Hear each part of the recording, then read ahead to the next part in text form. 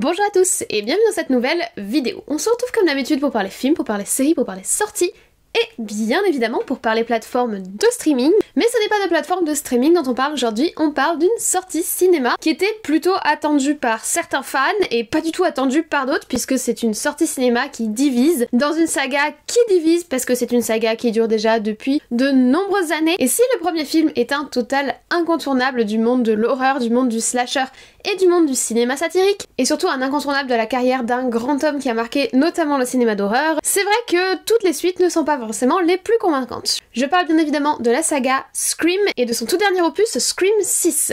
L'année dernière, il y a un an, sur la chaîne, nous avions déjà évoqué l'opus précédent Scream 5 qui s'appelait en fait Scream 2022. C'est donc avec plaisir mais avec un petit peu d'appréhension, je l'avoue, que je propose une suite à mon avis sur ce Scream 5 à travers mon avis sur Scream 6. Je vous laisse avec le générique et on se dit tout ça juste après.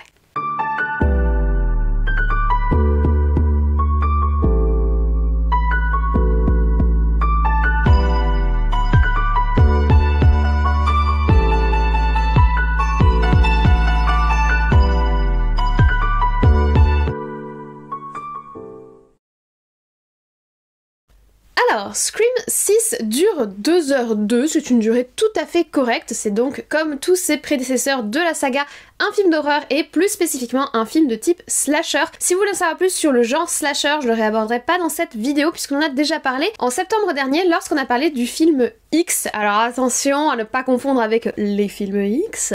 Non là c'est un film qui a pour titre X, qui était particulièrement intéressant parce qu'il proposait un hommage au genre slasher, donc je vous oriente vers cette vidéo si vous voulez en savoir plus sur cette sous-catégorie de l'horreur. Mais un autre très bon exemple du genre slasher serait la saga Scream, et tous ces films s'inscrivent dans cet héritage qui est à la fois au cœur de l'histoire, mais aussi au cœur du message satirique qui était porté par le premier film et que Wes Craven a fait vivre dans tout le reste de sa saga. Du moins pour les quatre premiers, puisque c'est lui qui a réalisé les quatre premiers films. Scream 2022 qui est sorti l'année dernière et ce Scream 6 ne sont pas réalisés par Wes Craven, le créateur original de la saga, mais par un duo de réalisateurs qui s'était déjà fait remarquer, notamment pour le film Wedding Nightmare, qui s'inscrit lui aussi d'ailleurs dans le genre slasher et qui avait rencontré un certain succès en 2019 lors de sa sortie. Ce duo, c'est Tyler Gillett et Matt Bettinelli Holpin. Jusqu'à maintenant, ils ont travaillé ensemble, ils sont chacun de leur côté également acteurs et scénaristes, mais lorsqu'ils se retrouvent à la réalisation, ils préfèrent travailler ensemble. Ils ont donc réalisé Wedding Nightmare, mais également le film The Baby en 2014 que personnellement j'avais pas particulièrement apprécié, voilà, qui est pas particulièrement notable, mais qui est pas mauvais non plus. Et surtout, c'est eux qui ont fait revivre, ou du moins qui ont fait revenir l'année dernière, la saga Scream sur le devant de la scène, puisque depuis la mort de son réalisateur iconique qui était Wes Craven, la saga n'était pas revenue sur le premier plan. Or, nous sommes en plein dans les années 2010-2020, et qu'est-ce qu'on fait d'une saga à succès des années 80-90 On la fait revenir au cinéma. Scream 6 qui est donc sorti le 8 mars 2023, c'est-à-dire ce mercredi si vous regardez la vidéo le jour de sa sortie, et donc leur dernière coproduction, et pour ce nouveau film, ils ont choisi de garder au casting les héros qu'ils avaient mis dans leur Scream 5 puisqu'ils cherchent à créer une nouvelle continuité scénaristique à travers des protagonistes forts que vont être notamment les sœurs Carpenter ainsi que les deux jumeaux Mindy et Chad.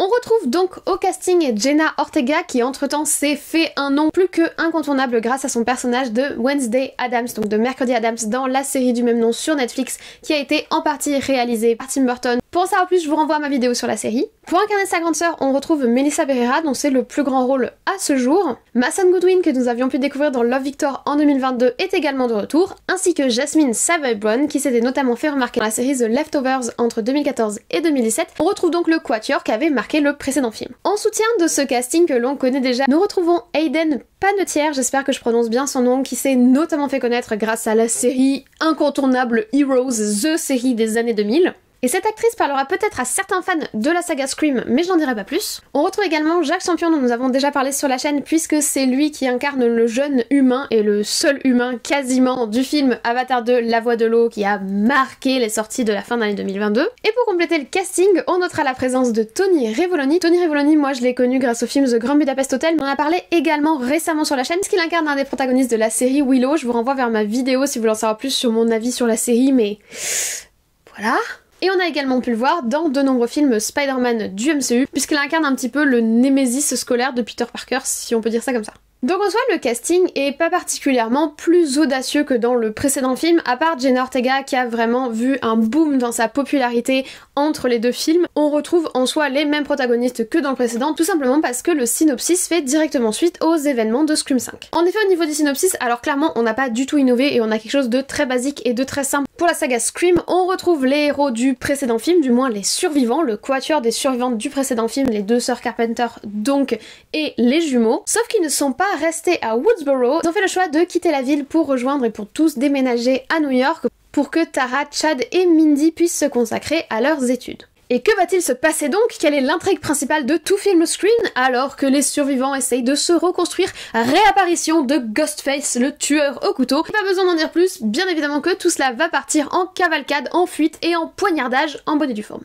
Avant de commencer notre petite discussion autour de ce nouveau film, je vous propose pas de revenir sur la saga puisque c'est quelque chose qu'on a déjà fait sous la forme d'une vidéo l'année dernière, vidéo qui est toujours d'actualité puisque en soi, la saga de Wes Craven et les quatre premiers films n'ont pas bougé depuis le temps. Donc si jamais vous voulez vous remémorer un petit peu le contexte, l'apparition du Ghostface, le contexte de Woodsboro, etc., je vous renvoie à cette vidéo qui est relativement complète qui permet de revenir sur chacun des films pour se mettre à jour et surtout d'analyser le message de métacinéma que Wes Craven avait inséré dans cette saga et sur lequel on reviendra en fin de vidéo ce Scream 6. Commençons donc dès à présent par la direction artistique et je vous propose dès à présent de nous intéresser à la photographie, à la façon dont sont filmés nos protagonistes, au cut et au dynamisme de l'image. Honnêtement, le film est très très classique. On retrouve le style Scream, si on peut dire qu'il y a un style Scream, puisque de base, le style Scream est une sorte de satire et d'imitation de ce que tous les slashers faisaient. Donc on a des plans qui sont, on va dire, typiques de ce genre de film, qui sont récurrents, voire presque exagérés dans les films Scream. Des gros plans sur le tueur, des gros plans sur le couteau, des gros plans sur le visage traumatisé de la victime. Ça, ce sont un petit peu des passages obligés de tout film Scream qu'on retrouve dans ce film-là et qui sont,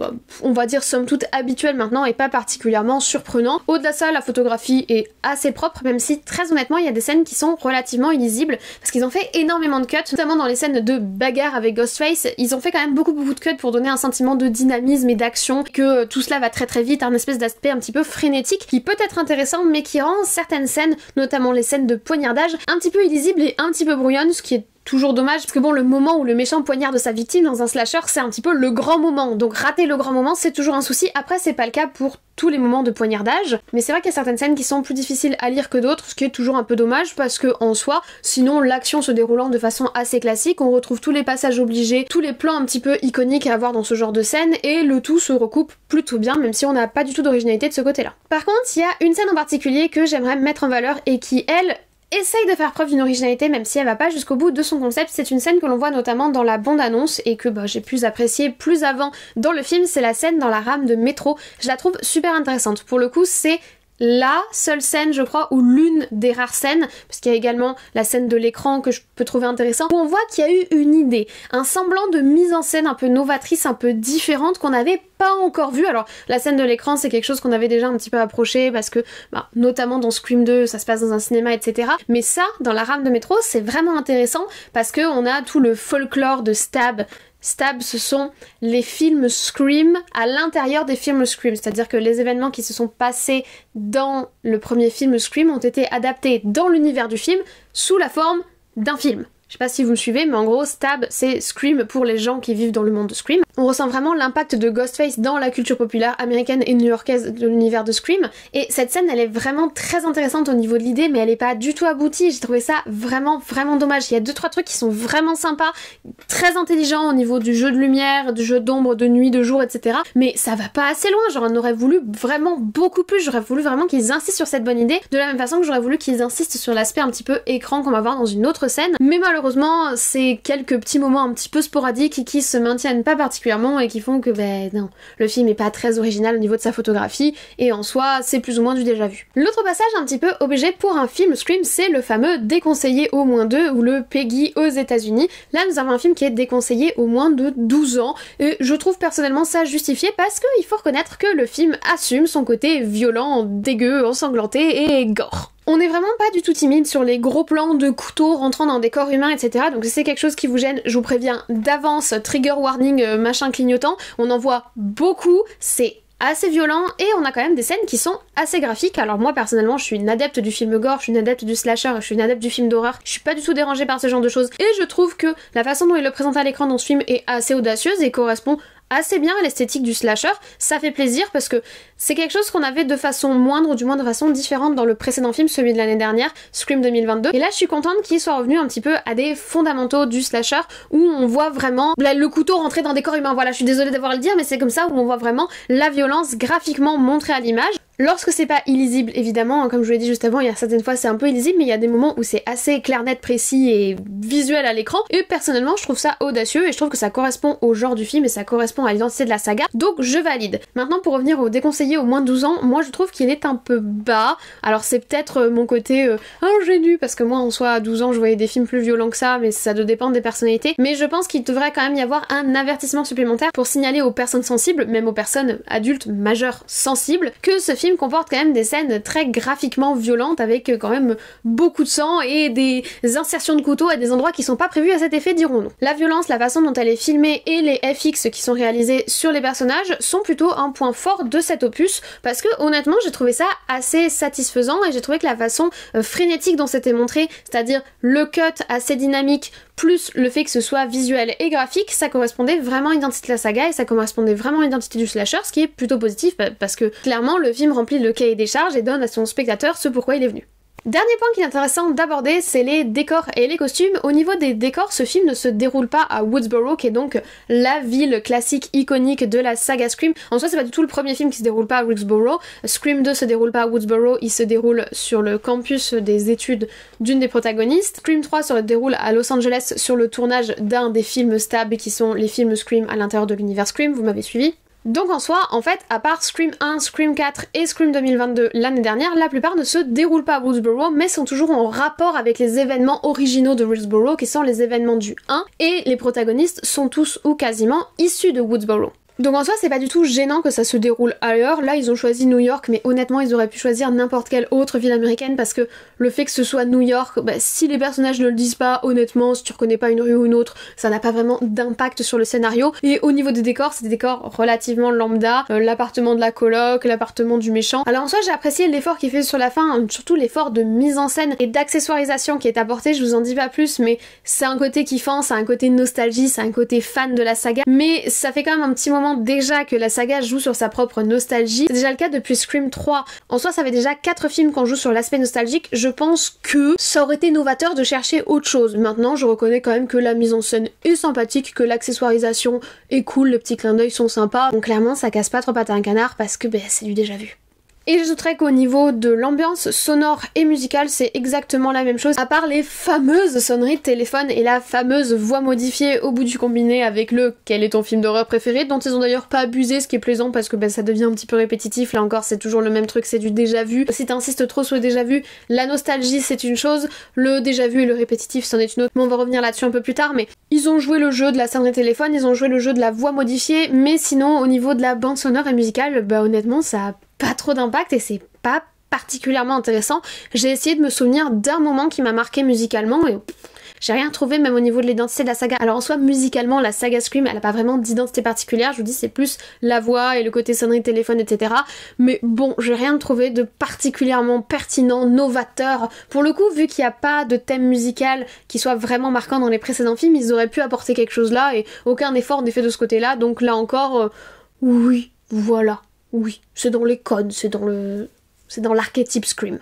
On poursuit avec quelque chose de par contre un peu plus positif, c'est le rythme du film. Honnêtement, je trouve que ça a été une réelle bonne surprise. Il faut savoir que j'allais pas voir le film avec des attentes monstrueuses, ayant déjà été déçue par le 5 l'année dernière et n'étant pas forcément une fan de la façon dont Wes Craven a terminé sa saga. En soi, il voulait faire des suites, mais en gros, le dernier film, le 4, je le trouve pas fifou dingue. Le 3, je suis pas déjà fan. Moi, j'aime bien les deux premiers, mais ça s'arrête un petit peu là. Donc, en soi, j'allais voir ce sixième film. Ça fait déjà un petit moment que je traîne le sac à dos de ça fait longtemps que ça aurait dû s'arrêter. Donc en soi, j'étais pas hyper enthousiaste et le rythme m'a agréablement surpris en cela.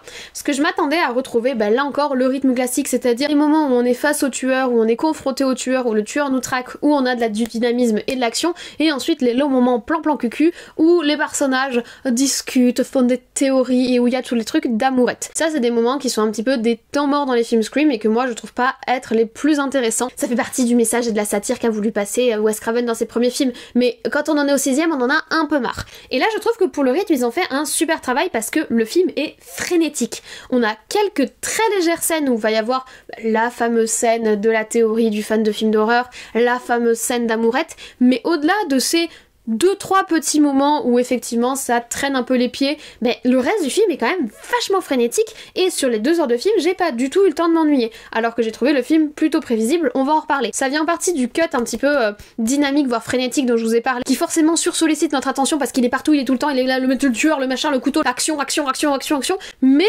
en soi, ça m'a fait passer un bon moment et je suis bien rentrée bah, dans la fameuse action parce qu'il y en avait tellement que forcément que j'étais emportée par la rythmique du film. Et en plus, ce côté frénétique, là encore, ça va abonder dans ce que je vous ai dit précédemment sur l'aspect violence. Ça rentre dans le code du slasher et de la violence un petit peu gratuite et jouissive du slasher. Où l'identité même du genre, c'est que le spectateur vient juste pour voir des gens se faire poursuivre et désinguer par le méchant. On n'est pas forcément là pour suivre un scénario, suivre une amourette, suivre une problématique complexe ou un, thriller psychologique. C'est pas du tout du tout le genre. L'objectif d'un slasher, c'est de satisfaire la jouissance morbide du spectateur qui veut voir un groupe d'amis se faire massacrer un tueur fou. C'est le but du film, et en cela, que ce soit à travers la façon dont est filmée la violence et à travers le rythme totalement dominé bah, par ces scènes d'action, ces scènes de traque, ces scènes de violence, ces scènes d'attaque, ces scènes où le tueur est là et nous tient en haleine, je trouve qu'on est clairement dans l'identité du slasher et ça fait plaisir. Petite parenthèse ici, je dis que ça serait bien que le film nous surprenne et effectivement pour nous surprendre il faudrait qu'il se détache un petit peu d'identité du slasher.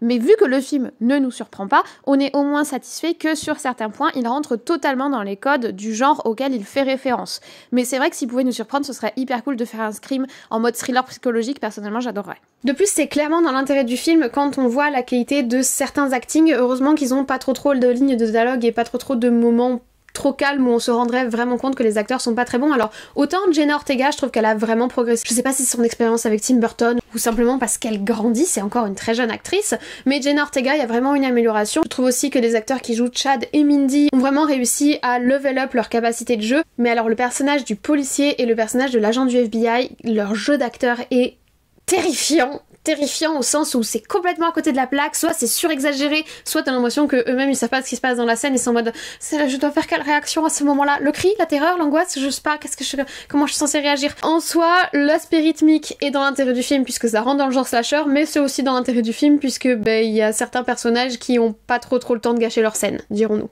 Et en parlant de choses qui gâchent le film, je suis vraiment désolée, on passe du positif au négatif, mais il faut qu'on parle du scénario. Le scénario de Scream, c'est un peu toujours le même. Et c'est un peu toujours le même scénario que pour un slasher. Je vous l'ai dit, le groupe d'amis qui va être poursuivi par un tueur fou, traqué et où la plupart voire tous, vont mourir, violemment assassinés et principalement poignardés, tout slash poignardés, par le tueur. Mais en soi, ça c'est juste le postulat de base. Après, tu vas pouvoir faire tout un ensemble de modifications et tu vas bien sûr pouvoir innover, surtout quand c'est ton sixième film. Enfin, du moins, on aimerait bien que tu innoves. Et j'avoue qu'au début, J'y ai cru. Là, je vais vous faire exceptionnellement un passage spoiler, donc je vous mets le spoiler clignotant ici en haut à droite et je vous mets le timecode fin de spoiler juste en dessous pour ceux qui ne veulent pas savoir. Pour ceux qui veulent savoir, c'est juste le début du film, hein, c'est que les 10 premières minutes du film. Mais honnêtement, quand au début du film, j'ai vu qu'il nous montrait directement le visage du tueur et qui nous proposait de voir le film à travers le regard du tueur et de à travers son point de vue, j'étais trop à fond. Parce que personnellement j'y avais déjà pensé l'année dernière pour Scream 2022, ça aurait été super innovant de nous proposer un Scream où on sait dès le départ qui est le tueur et du coup on voit les autres s'empêtrer et se faire manipuler. Et ça serait super cool comme concept. Du coup quand j'ai vu ça je me suis dit mais c'est trop bien, je suis trop contente, on sait déjà qui est le tueur et on va juste les voir en train de se larder et lui en train de les manipuler pour pouvoir tous les massacrer, j'adore l'idée et ben non. Mais quelle tristesse Mais, mais l'idée était tellement bonne, mais c'était tellement excellent En plus, ils avaient choisi Tori Rivoloni pour incarner le Jason, ils lui avaient en plus donné le nom de Jason, qui est l'un des tueurs iconiques d'un slasher iconique, j'ai pas besoin de vous le dire. Donc je trouvais ça trop cool, le, le multiple référencement, je trouvais ça trop cool. Je voyais bien le moment où ils allaient faire leur petit groupe de théorie, où ils allaient dire, toi, tu t'appelles Jason, c'est le nom d'un tueur célèbre, donc forcément t'es notre suspect numéro un, et on aurait vu comment ils se débrouillaient. Enfin bref, l'idée était trop bien, et c'est pas ça qu'ils ont fait. Quelle déception Mais quelle déception Fin du spoiler. Du coup voilà, au début du film, j'ai vraiment entreaperçu une idée de génie qui n'arrive pas, malheureusement. Donc au final, très rapidement, on retombe dans les ornières du schéma classique et on se retrouve dans un énième film Scream tel qu'on les a déjà tous vus et qui ressemble aussi à tous les autres slashers puisque ça a inspiré très largement du genre slasher qu'ils essayaient de caricaturer. Et c'est ennuyant, je suis désolée de dire que c'est ennuyant, déjà c'est super prévisible. Résultat, au bout de quoi Une demi-heure à peu près du film, j'avais ma liste de suspects qui s'est malheureusement pour moi révélée être la bonne. Il y a rien de cool à avoir la bonne théorie dans un film Scream, ça fait plusieurs fois que je trouve le tueur avant qu'on révèle que c'est le tueur et ça me déçoit parce que ça veut dire que certes on va pas voir un slasher pour le scénario, mais à partir du moment où c'est le sixième film de ta saga, le sixième que je vois de la même saga qui raconte la même histoire, il serait agréable, il serait appréciable, il serait original, il serait glorieux, il serait merveilleux et il serait ne serait-ce que nécessaire de se renouveler un peu, d'innover un peu, de faire quelque chose d'un petit peu inattendu. Juste un peu, enfin je sais pas, voilà. Non, ça c'est vraiment, vraiment terrible. Alors de la même façon que dans le scénario précédent, il y a un petit twist pseudo surprenant qui fait que effectivement t'as pas forcément juste à 100% ou du moins t'as quelques doutes parce que bah, quand même le scénario essaye de détourner ton attention, mais ça aussi c'est typique d'un scénario à la Scream. Mais sinon, franchement, entre l'absence totale de renouvellement, le fait qu'ils misent énormément sur l'aspect nostalgique, comme le précédent Scream 5 et comme le Scream d'avant et gna mais on s'ennuie, on s'ennuie. C'est ennuyant et c'est dommage. Scénaristiquement, c'est ennuyant. Heureusement que le rythme est là. Heureusement qu'on a le point fort du rythme qui est frénétique et très très slasher, qui est très très satisfaisant au niveau violence et au niveau violence graphique et visuellement montré à l'image, parce que scénaristiquement, au niveau de l'intrigue, on s'ennuie et on s'ennuie d'autant plus que dans la saga originelle Scream, Wes Craven essayait de faire passer un message. C'est en fait une satire grossière qui se moquait du schéma typique du slasher, mais également plus largement de l'industrie du cinéma. Alors je vous invite à aller voir ma vidéo qui revient sur la saga où je vous l'explique plus largement, mais on était vraiment sur du méta-cinéma où Wes Craven, à travers la façon dont il traitait notamment la saga Stab, donc la saga des films Scream au sein des films Scream, montrait une image vraiment ultra caricaturale de l'industrie hollywoodienne et de l'industrie du film d'horreur, approché vraiment comme une espèce de satire sociale. De la même façon que ces personnages pointent les clichés du film d'horreur, le cliché de la blonde, le cliché du noir, le cliché de faut pas s'éloigner du groupe, le cliché de l'amourette, toujours se méfier du love interest. Voilà, tout ça c'était des clichés que Wes Craven mettait en avant pour nourrir sa satire, qui était une satire du genre du slasher, qui était une satire qui s'adressait plus largement au genre de l'horreur et encore plus largement à toute l'industrie cinématographique et l'industrie du divertissement. Ça, c'est d'aspect message, cet aspect profondeur, c'est-à-dire derrière un film qui est un petit peu ridicule et on a un message un peu plus profond qui se cache en filigrane. On l'avait très très peu, voire quasiment pas dans le film de l'année dernière Scream 5. Là, ils ont complètement oublié que ça, ça fait partie intégrante de la saga Scream, et ça, ça fait partie intégrante de la volonté initiale de Wes Craven. Ça n'existe plus du tout dans ce film-là. On n'a pas de lecture en filigrane, et c'est hyper décevant, parce que du coup, en plus d'avoir un scénario où tu t'ennuies parce que tu connais déjà toutes les ficelles et que tu connais déjà tous les répondissements et que c'est ce que t'as déjà vu, en plus, il y a même pas une profondeur de lecture qui pourrait rajouter un intérêt à aller regarder entre les lignes. Honnêtement, c'est extrêmement décevant parce que ce sont quand même des films, que ce soit celui de l'année dernière ou celui-ci, qui s'inscrivent en héritage de la saga originale de Wes Craven, mais qui foule du pied le principal message, la principale volonté, la principale parole que le créateur faisait passer à travers sa saga originale. En gros, il garde juste le masque, il garde l'écrit, il garde le sang, il garde les jeunes filles prépubères qui courent dans la rue poursuivies par un tueur masqué, et c'est tout. En fait, ils tombent littéralement dans le piège grotesque que leur a tendu Wes Craven et c'est vraiment triste pour la saga. C'est donc ainsi qu'on en arrive à mon bilan. Sérieusement, vraiment, laissez cette saga agoniser tranquille. Laissez-la mourir. Vous n'auriez déjà pas dû la ressusciter de mon point de vue personnel. Vous l'avez fait l'année dernière. Le film a rencontré un certain succès, il a été critiqué par d'autres. Ça suffit. Si vous n'avez pas une volonté supplémentaire, si vous n'avez pas une idée supplémentaire, une innovation à apporter, si vous voulez pas creuser le message que Wes Craven avait fait passer dans sa saga originale, stop Et je vous dis ça alors qu'en soi, le film n'est pas mauvais dans l'absolu, ce n'est pas un mauvais film. L'image est efficace, le traitement de la thématique du slasher est correct, au niveau de la violence, de l'aspect graphique et visuel du sang, du slash, etc. C'est très correct, c'est même plutôt efficace. Le rythme a fonctionné, ce qui fait que je suis pas sortie du film, mais scénaristiquement et intellectuellement, je me suis profondément ennuyée, mais surtout, au-delà de ça, au-delà de faire un film de divertissement pur, parce qu'en soi, là, on n'est que sur des divertissements purs, et le divertissement fonctionne, il n'est pas transcendant, mais il fait le taf. Au-delà de faire un divertissement pur, ces gens-là s'inscrivent dans l'héritage d'une saga, dans l'héritage du visage du Ghostface qui est devenu vraiment un marqueur de la culture populaire et qui est un peu imprimé dans tous les esprits, simplement pour faire des films supplémentaires et faire tourner la machine à billets, ce qui était exactement ce que critiquait Wes Craven dans sa saga originale. Et on a l'impression que ce message-là, cette portée-là, cette profondeur-là, cet intérêt-là de la série, il le foule totalement du pied. Alors soit ils s'enfoncent le doigt dans l'œil jusqu'au coude et ils ont pas vu cette lecture-là. N'importe quel Wikipédia du monde pour expliquer cette lecture-là de la saga Wes Craven. Donc il y a, y a, rien de sorcier là-dedans. Soit ils en ont juste rien à faire et ils foulent du pied l'héritage et le message originel du créateur de la saga tout en profitant de son œuvre, ce que je trouve somme toute assez dommage pour rester correct et même disons-le plutôt pathétique. Donc est-ce que je vous recommande le film Dans l'absolu, si vous cherchez un divertissement de type slasher, qui est, on va dire, sympathique, oui, je pense que vous passerez un bon moment et j'ai pas passé un moment atroce devant le film. Mais lorsque j'ai réfléchi à la place de ce film dans la saga qu'il a choisi d'honorer entre très gros guillemets, ou du moins de poursuivre, j'ai quand même trouvé ça assez triste, assez pauvre, pas très intéressant et surtout ça n'apporte rien au schmilblick. C'est-à-dire que là on n'avance pas d'un iota, on n'apprend rien sur l'histoire, on n'apprend rien sur les personnages. Parce qu'en plus ils délaissent eux-mêmes la propre problématique qu'ils ont posée autour du personnage de Samantha Carpenter qui est complètement expédié, ce qui est bien dommage parce que ça aurait pu être une réflexion intéressante mais ça aussi ça participe au fait qu'on n'apprend rien. J'en apprends rien sur l'univers du Ghostface, il n'y a pas de message en profondeur, il n'y a pas de filigrane.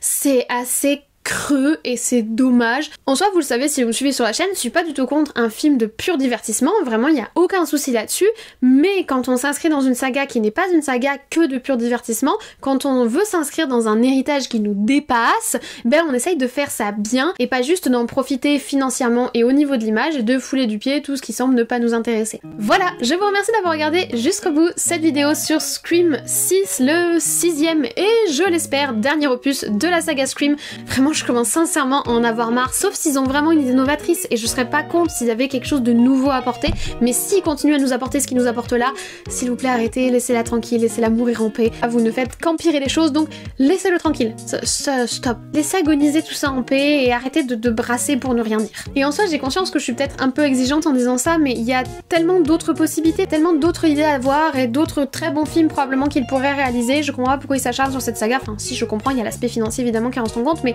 voilà, c'est un petit peu dommage. Donc malgré ce propos un petit peu euh, défaitiste, dirons-nous, j'espère que vous avez quand même apprécié la vidéo. Si c'est le cas, n'hésitez pas à mettre un petit like, comme vous le savez, ça fait plaisir, ça donne le smile, ça me soutient dans ce que je fais et ça aide YouTube à référencer la vidéo. Il en est de même pour les commentaires, donc n'hésitez pas à me laisser en commentaire votre avis sur la vidéo, tout simplement, ou votre avis sur le film Scream 6 si vous l'avez vu. Est-ce que vous avez passé un bon moment de divertissement? Est-ce que vous avez trouvé que ça complétait bien la saga? Moi non, je pense que vous l'avez compris. Est-ce que vous n'aimez pas Scream? Ce qui est tout à fait possible, hein, parce que l'aspect euh, satirique et surtout le fait que ça dure quand même depuis des plombes, je peux comprendre que ça puisse lasser des gens. Et tant qu'on y est, si ce n'est pas encore fait, vous pouvez dès à présent vous abonner juste en dessous, c'est gratuit, ça fait plaisir, ça donne le smile, ça me soutient, bref, vous connaissez la chanson. Moi je ne vous embête pas plus, je vous remercie d'avoir regardé cette vidéo jusqu'au bout. Je vous souhaite dès à présent une très bonne journée, une très bonne semaine, de très très bons visionnages, peut-être Scream 6, vous passerez un bon moment de divertissement en slash rien, mais que vous allez voir ou pas, comme d'habitude, prenez soin de vous, et nous on se dit à très très vite